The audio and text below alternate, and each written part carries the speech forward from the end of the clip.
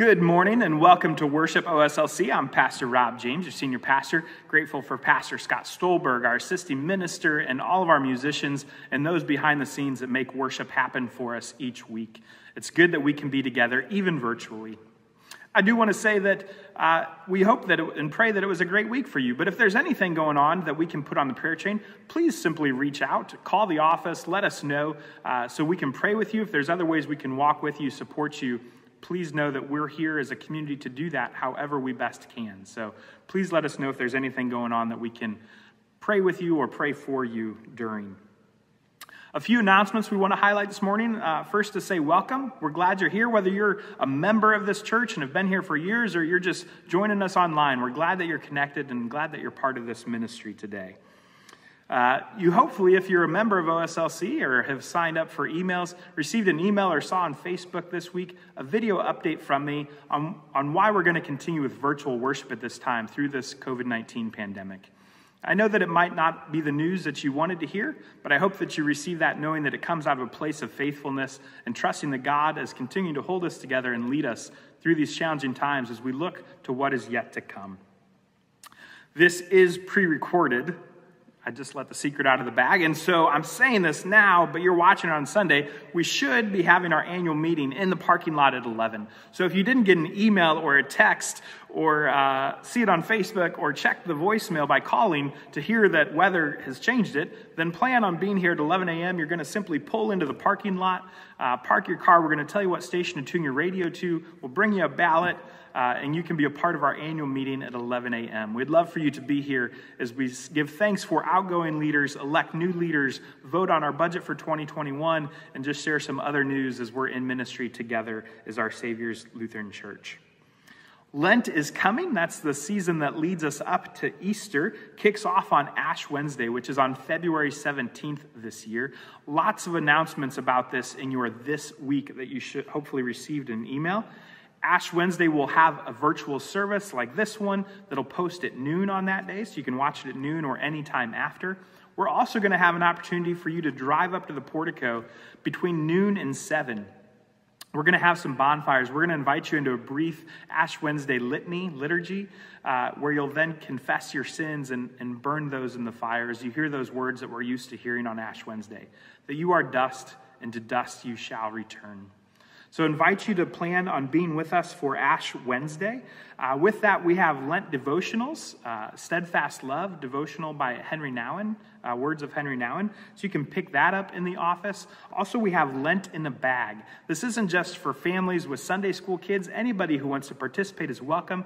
Check out your This Week. We do ask you to register just so we make sure we have enough supplies, but would love to get you that Lent in a Bag to help you journey through these 40 days, this season of Lent, uh, together as community. And then Wednesday nights, uh, not in your this week yet, but I'm sure it'll be in there next week and was in your crosstalk this month. Uh, Wednesday nights, the rest of Lent, I invite you to join me at 6:30 p.m. on Zoom. We'll have a time of prayer, scripture reading, brief reflection, and most importantly, a time of some conversation together as we go through Lent uh, as a community. Last thing I want to highlight, other stuff you can check out, but last thing I want to highlight uh, mission of the month has been Playtown, our preschool here at Our Saviors. Just exciting stuff going. We just met today to plan on how we're doing virtual open houses and how we're getting the word out that this is a great place for our three and four year olds in our community to come and learn about ABCs and one, two, threes and how much Jesus loves them. So, would love for you to help us spread that word as you see posts on Facebook or if you know somebody looking for preschool, let them know that Playtown would be a great option. If you've never seen the space, I know you maybe saw this last week, but I want to invite you to go on a quick tour and watch this Playtown video. Hi, I'm Miss Amy from Playtown Preschool, where learning is fun. I'd like to give you a tour of our classroom. This is the circle time area. This is where we gather together to start our day with the Pledge of Allegiance, what day of the week is it, and the weather report. We do stretching and morning prayers. At other times of the day, we come back to the circle time area for stories, songs, and a group game. Here are the work tables. We practice skill building with three children at a time. We work on writing with their pencils held properly, recognizing letters, letter sounds, recognizing numbers, and learning to count and other skills needed for kindergarten. Each child sits in a different spot each day so that they have a chance to become friends with everyone in the classroom. These two spots are the art areas where children can be creative. We have planned art projects that we work on with three children at a time for their cutting, gluing, and coloring skills. This is our library and listening center. Here children can read books or listen to stories on CDs. Puzzles and puppets are also in this area to encourage vocabulary, a sense of achievement, and hand-eye coordination. Our science area. Here children can explore and learn about our physical world through play. Right now we have a fish and a frog as our class pets. Another job we share is watering plants. We like to watch and learn while the plants grow from seeds. This is our dramatic play area. Here the children can have fun using their imagination with props. The theme in this area relates to the time of the year and is changed monthly. This is our construction area. Here, with everyone working and cooperating together, great cities and train routes are built. This is our math and cognitive and manipulative area. The toys in this area are here to help teach skills through playing. Here we have counting bears, magnet letters, shape, and size sorting. This is the quiet area, the place where someone goes when they need to relax or be alone for a few minutes. This is a cozy area with calming toys and stuffed animals. Our playground and gym are used daily for gross motor skills and letting out extra energy. All of these areas, the children are learning important social skills. We work on how to be a good friend, how to wait, be patient, how to listen to others, gain confidence, and taking care of our room. Drop-off time will be at 8 a.m. and pickup will be at 11:45 this coming school year. This will give your child more time to learn, make friends, and have more teacher contact time than most half-day programs. If you have any questions or you'd like to register your child for next year, just call us at 815 399 0531 or email playtown at oslcrockford.com. I hope you enjoyed the tour of Playtown Preschool, where learning is fun.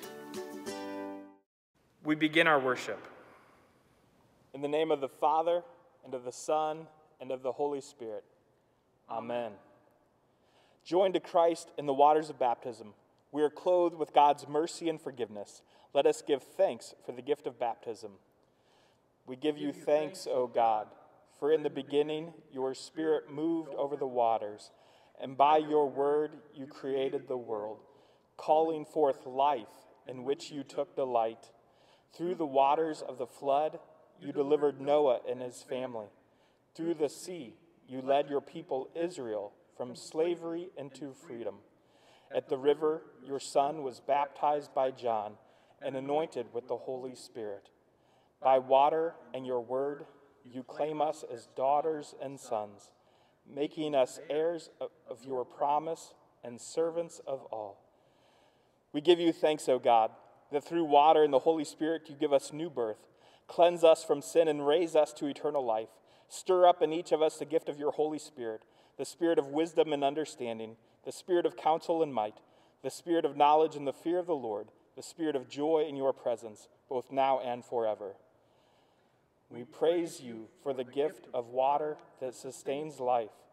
And above all, we praise you for the gift of new life in Jesus Christ.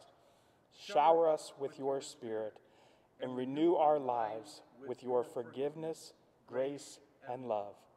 Amen.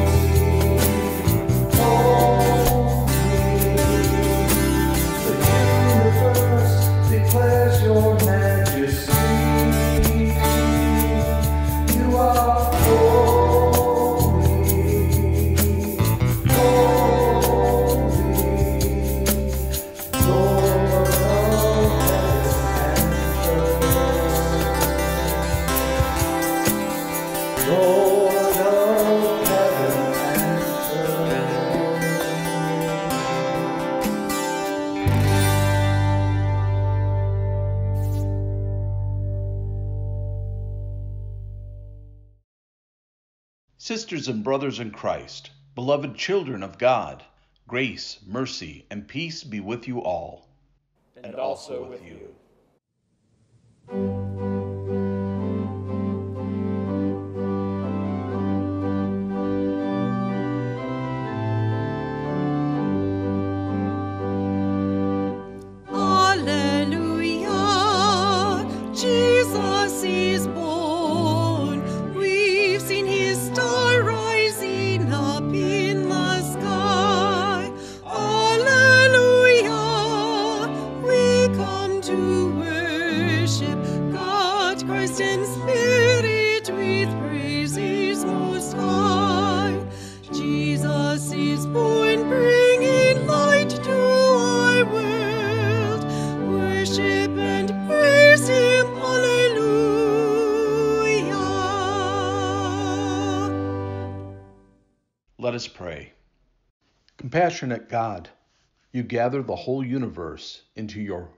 radiant presence and continually reveal your Son as our Savior. Bring wholeness to all that is broken and speak truth to us in our confusion, that all creation will see and know your Son, Jesus Christ, our Savior and Lord. Amen.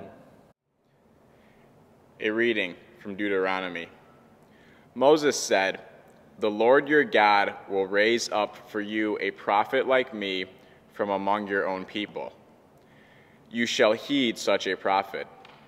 This is what you requested of the Lord your God at Horeb on the day of the assembly when you said, If I hear the voice of the Lord my God any more, or ever again see this great fire, I will die. Then the Lord replied to me, They are right in what they have. I will raise up from them a prophet like you from among their own people. I will put my words in the mouth of the prophet, who shall speak to them everything that I command. Anyone who does not heed the words that the prophet shall speak in my name, I myself will hold accountable. But any prophet who speaks in the name of other gods, or presumes to speak in a name a word that I have not commanded the prophet to speak, that prophet shall die. The word of God for the people of God. Thanks be to God. Psalm 111. Hallelujah! I will give thanks to the Lord with my whole heart in the assembly of the upright in the congregation. Great are your works, O Lord, pondered by all who delight in them. Majesty and splendor mark your deeds, and your righteousness endures forever. You cause your wonders to be remembered. You are gracious and full of compassion. You give food to those who fear you, remembering forever your covenant. You have shown your people the power of your works in giving them the lands of the nations. The works of your hands are faithfulness and justice. All of your precepts are sure. They stand fast forever and ever because they are done in truth and equity. You sent redemption to your people and commanded your covenant forever. Holy and awesome is your name. The fear of the Lord is the beginning of wisdom. All who practice this have a good understanding. God's praise endure forever. A reading from 1 Corinthians. Now concerning food sacrificed to idols, we know that all of us possesses knowledge. Knowledge puffs up, but love builds up. Anyone who claims to know something does not yet have the necessary knowledge, but anyone who loves God is known by him. Hence, as, all, as to the eating of the food offered to idols, we know that no idol in the world really exists, and that there is no God but one. Indeed, even though there may be so called gods in heaven or on earth, as in fact there are many gods and many lords, yet for us there is one God, the Father, from whom all things and for whom all we exist, and one Lord, Jesus Christ, through whom all are things and through whom we exist. It is not everyone, however, who has this knowledge.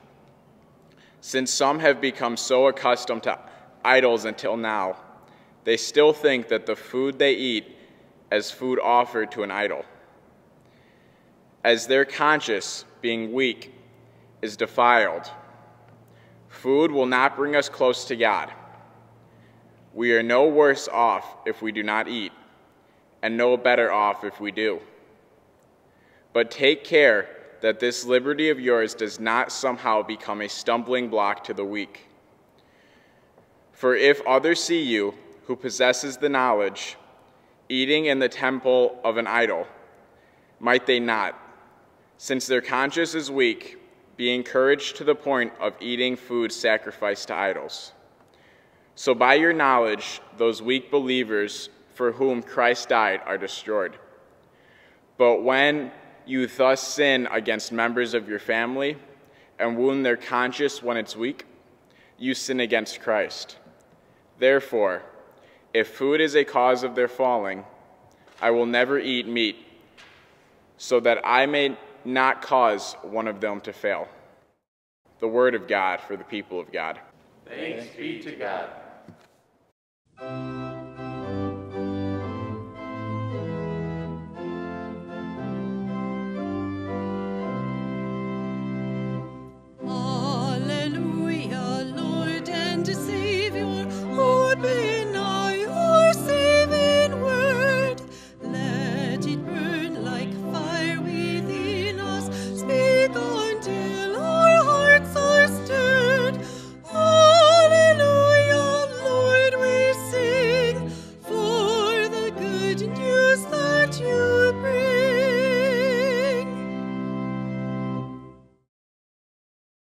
Gospel according to Mark. Glory to you, O Lord. Jesus and his disciples went to Capernaum, and when the Sabbath came, he entered the synagogue and taught. They were astounded at his teaching, for he taught them as one having authority and not as the scribes. Just then, there was in their synagogue a man with an unclean spirit, and he cried out, What have you to do with us, Jesus of Nazareth? Have you come to destroy us? I know who you are, the Holy One of God. But Jesus rebuked him, saying, Be silent and come out of him. And the unclean spirit, convulsing him and crying with a loud voice, came out of him. They were all amazed and they kept on asking one another, What is this? A new teaching with authority? He commands even the unclean spirits and they obey him. At once his fame began to spread throughout the surrounding region of Galilee. The gospel of the Lord. Praise to you, O Christ.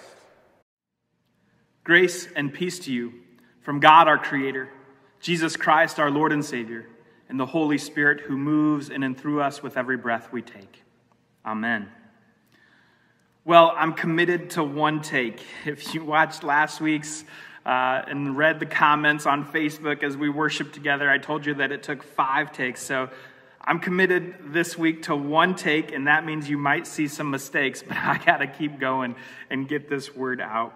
It's good for us to be in this word again as we continue in the Gospel of Mark in this first chapter. If you were with us last week, you know that we're right here in the beginning of the Gospel. We, of course, have four Gospels, those books of the Bible that tell us about Jesus' earthly ministry Matthew, Mark, Luke, and John. Mark is the shortest, and it starts out quick. It doesn't have the Christmas story that we're used to, it just jumps right in. So we're still in chapter one as we get to Jesus' earthly ministry. Remember last week, Jesus called those first disciples, saying, Follow me, and I will make you fish for people. They dropped everything, they left their nets and their family, and they followed him. And now we move into the very next verse. Here we are in Jesus' first public act, casting out an unclean spirit or demon out of a man in the synagogue.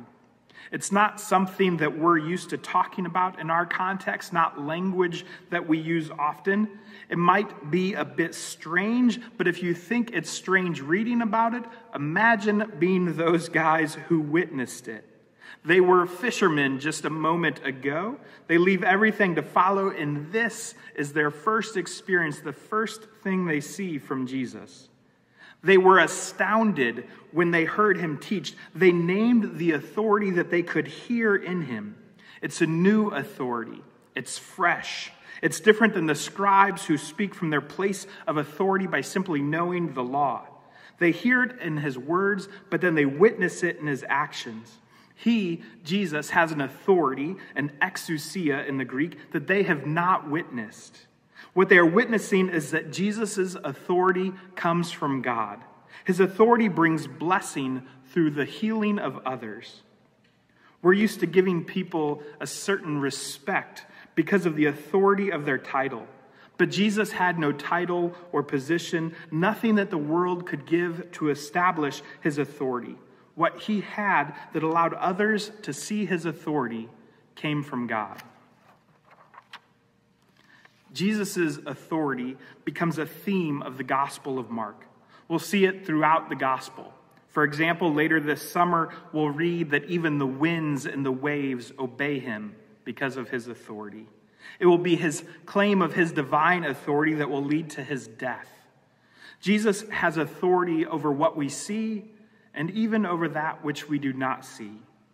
Jesus, by his authority, ushers in a new kingdom. Stephen Hultgren in his commentary says, Jesus' authority and kingdom ministry invite us to imagine a different world and to live towards it. So today, and as we spend time this year in the Gospel of Mark, it's a great question for us to ask What authority does Jesus have in your life? It's not just a rhetorical question. Ponder on that one. Maybe write it down to ask yourself again later what authority does Jesus have in your life? It's an authority that we can't just simply read about, but that we have to experience. How have you witnessed Jesus' authority in your life and in the life of others? How has it transformed and shaped your life into who you are as a follower of Jesus today? Let me read these words by Steve Garnaas Holmes in his poem titled Authority. Let his word cut into you, not a proposition you should agree with, not a doctrine to believe, but a revelation that astounds with authenticity that rings, a scene of your soul, an opening that draws you in, a pool you look deep into until you fall with love that overrules any authority on this earth, let it take your breath away and let it give you new breath. Let it uncover something in you. Let it, with authority, ask of you. Let it author a new story in you. What authority does Jesus have in your life? Does Jesus have authority over the demons that possess you? Osvaldo Vena, in his commentary for today, says, The demons that I'm talking about are those who possess us as a community, as a nation, and as members of the human race. They are intent on destroying us, and we need to cast them out. How? First, we have to name them. Second, we have to pray as Jesus did in Mark 9 29 when he exorcised the boy with the Spirit.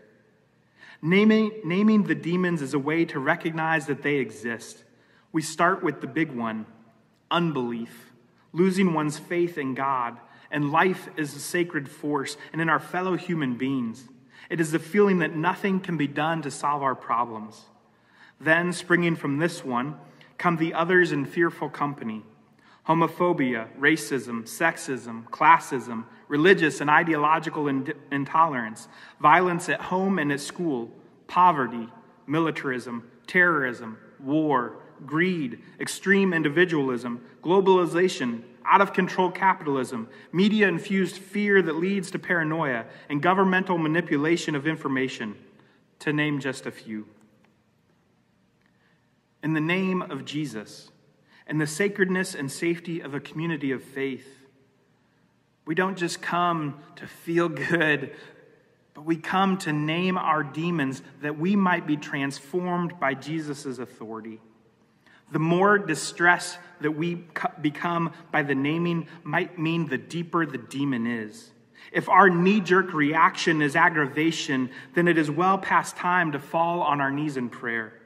To be people of faith is to practice humility. Humility is to listen and to learn, that we might put others' needs before our own wants. Our faith calls us to surrender, to surrender to Jesus' authority, to confess our sin of our focus on ourself, and to surrender to the way of love. Pastor Tara Beth Leach, in her soon to be released new book, Radiant Church Restoring the Credibility of Our Witness, says this A radiant church loves as Jesus loves. We need to be a church that boldly loves as Jesus loves, a church that loves fearlessly, even when it is uncomfortable and scary, even, even when loving as Jesus loves doesn't fit a particular political party.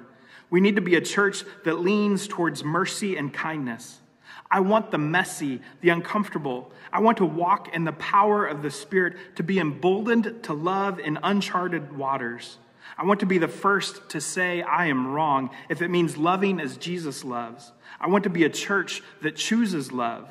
We can work this all out with fear and trembling because we have love. We have Jesus. To let Jesus have authority in our life, yes, begins in prayer. Prayer that comes again and again and is ongoing.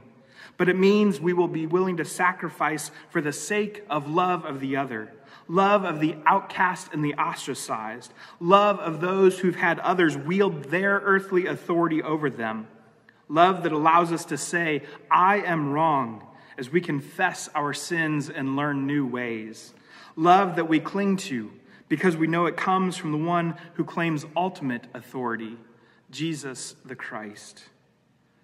Siblings in Christ, together let's love the one who has an authority like that that we have never seen before. Amen.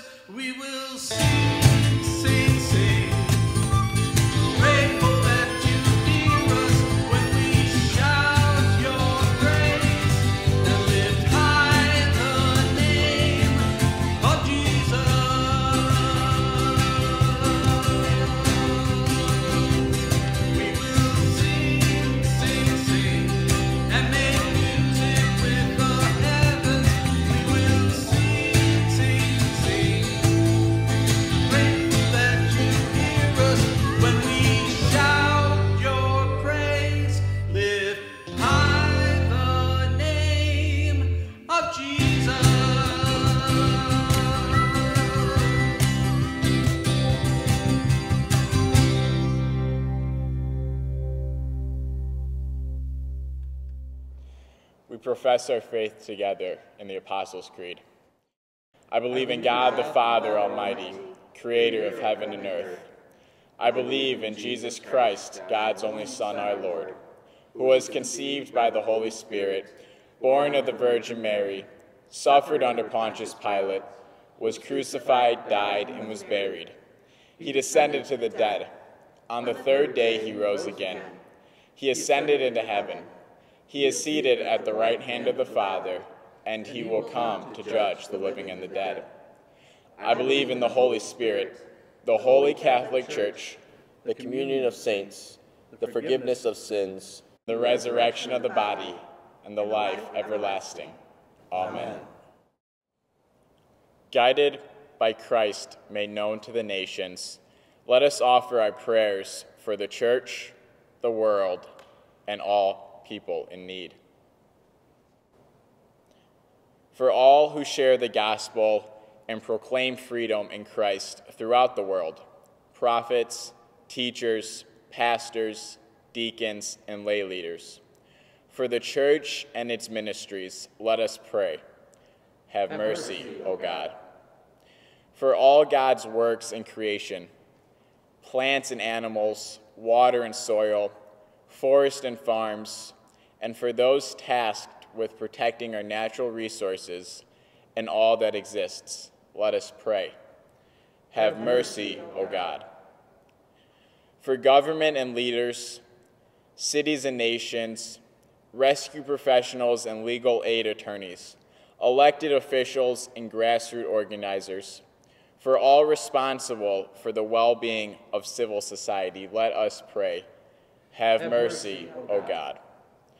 For those who suffer in mind, body, or spirit, those who are sick and hospitalized, those living with HIV or AIDS, those, those struggling with mental illness, those who are hungry or homeless, and in any need, especially Fred and Lois, Gary, Bob, Dave, Henry, Marjorie, Lloyd and Nancy, John and Sally, Carol, Dolores, Neil, Joan, Roberta, Marlon, Mackenzie, Keith, Glendia, Paul, Ron, Marlene. We also pray for the families and friends of our Saviors.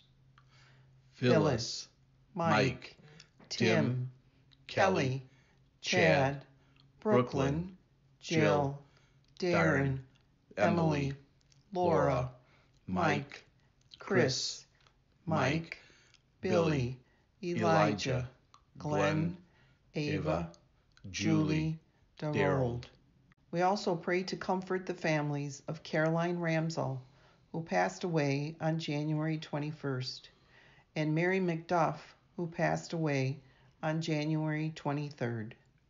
for caregivers, hospice workers, and home health aides, let us pray. Have mercy, O God. For the concerns of this congregation, those who travel, those absent from worship, those celebrating birthdays or anniversaries, for the people of God in this place, and for other needs in our community, let us pray. Have mercy, O God. For the covenant God made with us in the waters of baptism, and thanksgiving for the baptized who have died in the Lord, let us pray. Have, mercy, O God. Merciful God, hear the prayers of your people, spoken or silent, for the sake of the one who dwells among us, your Son, Jesus Christ our Savior. Amen. The peace of the Lord be with you. And also with you.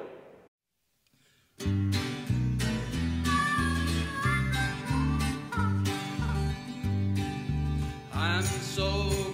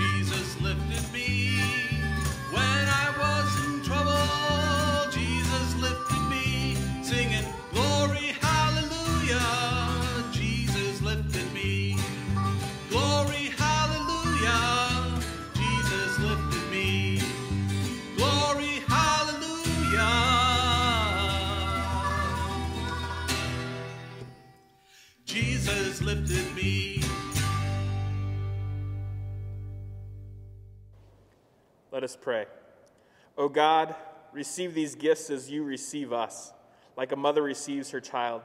With arms open wide, nourish us anew in your tender care, and empower us in faithful service to tend to others with this same love. Through Jesus Christ, our saving grace. Amen.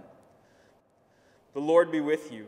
And also with you. Lift up your hearts. We lift them to the Lord. Let us give thanks to the Lord our God. It is right to give our thanks and praise. It is indeed right, our duty and our joy, that we should at all times and in all places give thanks and praise to you, Almighty and merciful God, through our Savior, Jesus Christ.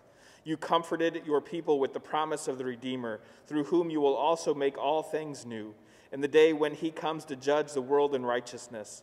And so, with all the choirs of angels, with the church on earth and the hosts of heaven, we praise your name and join their unending hymn.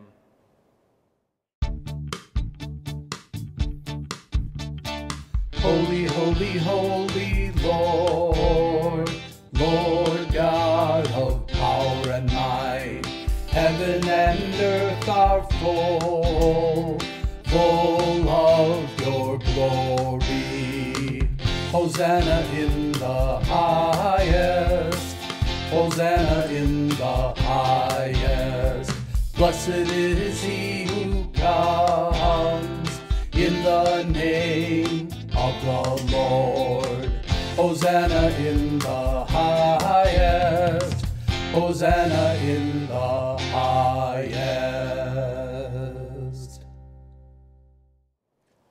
Holy, mighty, and merciful Lord, heaven and earth are full of your glory, and great love you sent to us, Jesus, your Son, who reached out to heal the sick and suffering, who preached good news to the poor, and who on the cross opened his arms to all. In the night in which he was betrayed, our Lord Jesus gathered with the disciples, took bread, gave thanks to God for the gift, then broke it and gave it to them, saying, Take and eat. This is my body given for you. Do this for the remembrance of me. Again, after the meal, he took the cup, gave God thanks for the gift, and gave it to them to drink, saying, This cup is a new covenant in my blood, shed for you and for all people for the forgiveness of sin. Do this for the remembrance of me. Remembering, therefore, his death, resurrection, and ascension, we await his coming in glory. Pour out upon us the spirit of your love, O Lord, and unite the wills of all who share this heavenly food, the body and blood of Jesus Christ our Lord, to whom with you and the Holy Spirit be all honor and glory, now and forever. Amen. We pray the prayer that Jesus taught us Our Father in heaven, hallowed be your name. Your kingdom come, your will be done, on earth as in heaven. Give us today our daily bread Forgive us our sins, as we forgive those who sin against us. Save us from the time of trial, and deliver us from evil. For the kingdom, the power, and the glory are yours, now and forever. Amen. We invite you to commune at your home, whether you are by yourself or with loved ones. You can commune one another or commune yourself. Communing others, give them the bread and say the words, Take and eat. This is the body of Christ given for you. And then again with the cup. As you share in this meal, hear or share these words Take and drink. This is the blood of Christ given for you. Lamb of God, you take away the sin of the world. Have mercy on us.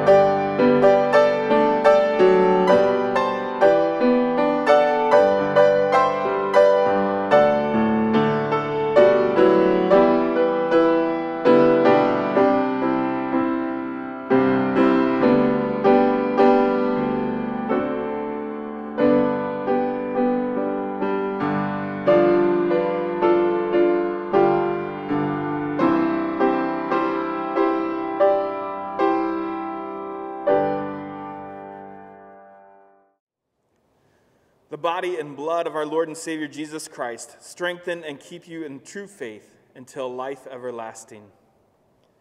Christ Jesus, at this table we have feasted on your very life and are strengthened for our journey.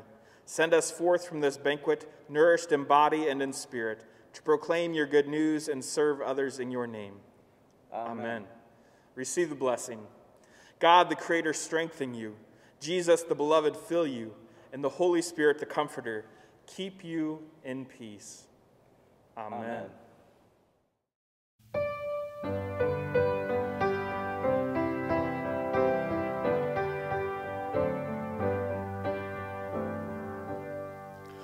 Oh, for a thousand tongues to sing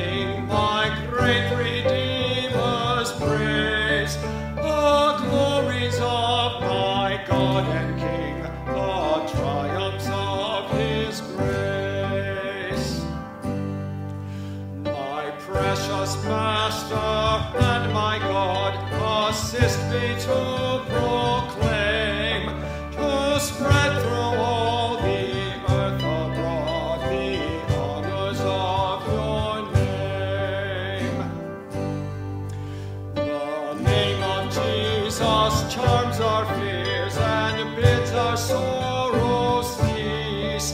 Sings music in the sinner's ears, brings life and health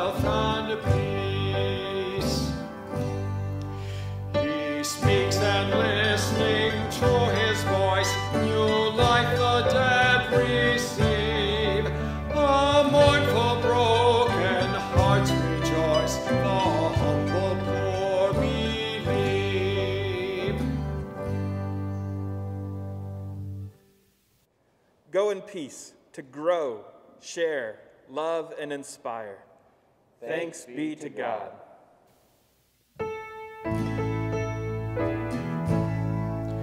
Look unto him, your Savior,